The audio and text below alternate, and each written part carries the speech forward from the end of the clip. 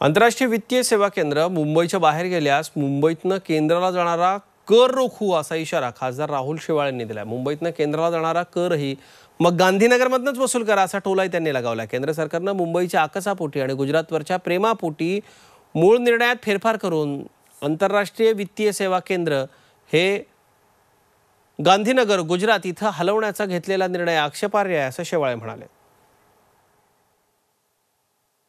गांधीनगरच्या प्रेमापोटी हा जो निर्णय घेतलेला आहे तो अत्यंत दुर्दैवी आहे.